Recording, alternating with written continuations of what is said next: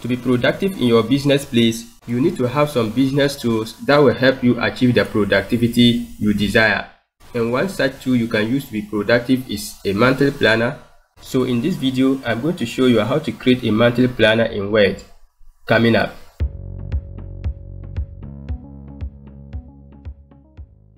Hello guys, this is Online Office Teacher where I help you manage your data and information through online video just like this one. So if you are new here, consider subscribing. That said, let's create our monthly planner. Having opened Word, I go over to the Layout tab, then I click on Orientation, then I choose Landscape. Next, I'm going to go ahead and decrease my margin. So I'll decrease the top and bottom margins as well as the left and right margins. So to do that, I go to margins and I choose narrow. Next, I enter the title of my template.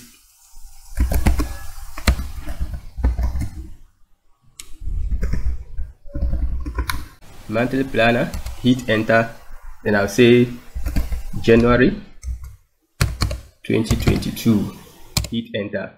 Next, I'm going to go ahead and insert a table.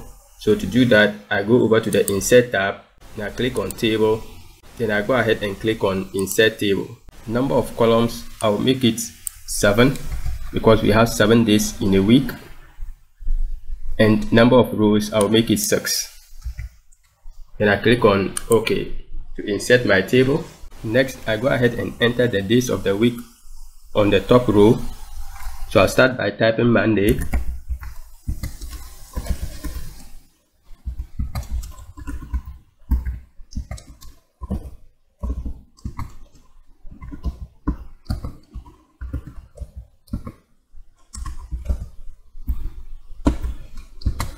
Perfect.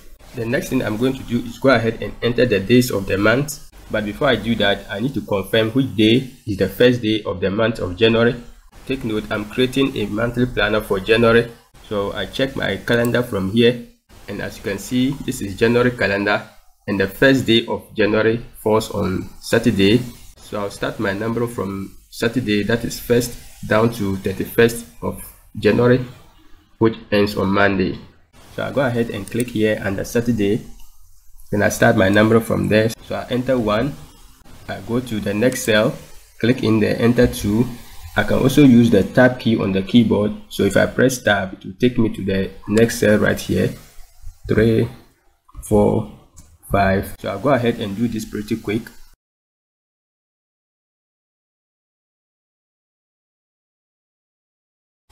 Perfect. As you can see, if the month were to have started on Friday, we wouldn't have used this particular row or wouldn't have created this particular row because everything would have shifted one step back. One would have been on Friday, two on Saturday, and at the end, 31st would have been on this very cell where we have 30. But to be a safer side, always make sure you insert 7 rows. If you can remember in the beginning, we created a table of 7 columns and 6 rows, but in the end, we are getting 7 rows. And the 7th row has come as a result of using the tab key on the keyboard. So if I click at the end of this cell and press the tab key, another row will be created. But we don't need this row, so I reverse it.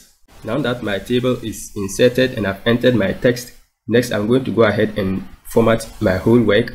So I'll start from the title. So I highlight the whole of this. Then I go to the home tab then I'm going to go ahead and center it.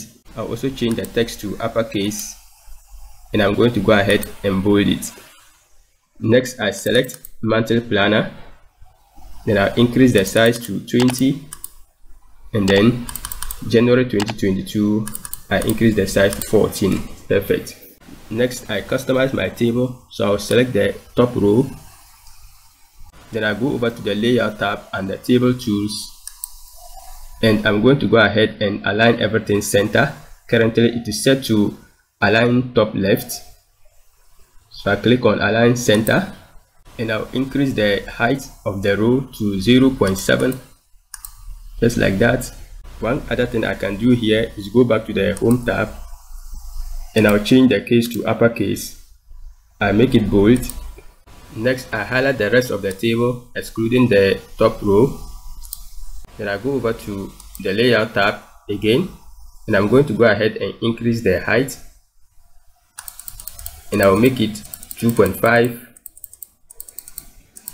with this my planner will fit well in one page. One other thing I can do is I can provide shading for the top row. So I'll just select everything. Just like this I go to table design and the table tools. I click on shading and I can choose any of these colors so I'll go ahead and choose this green. Awesome. And now my monthly planner is done. A quick tip I'm going to show you is that take note we have created a monthly planner for January. So to create a monthly planner for February that is the next month you need to make sure you go to your calendar. Then you go ahead and determine which day will be the first day for February. So if I click on the month here and I choose February you see that February starts on Tuesday. So all what you need to do for February monthly planner is that you just come to Tuesday here and you go ahead and enter your days accordingly.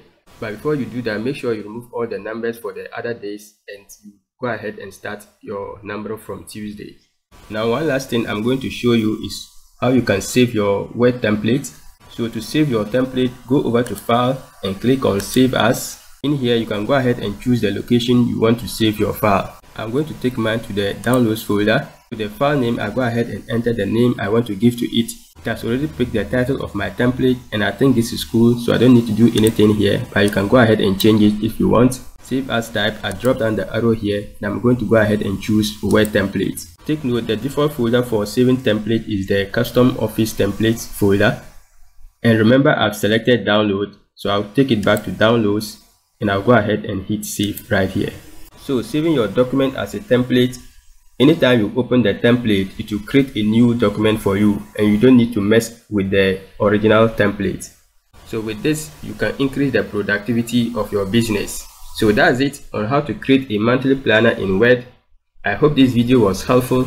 If you found value, kindly hit the like button, subscribe and also enable the notification bell so that you miss out on future videos. Keep watching and I'll see you in the next one.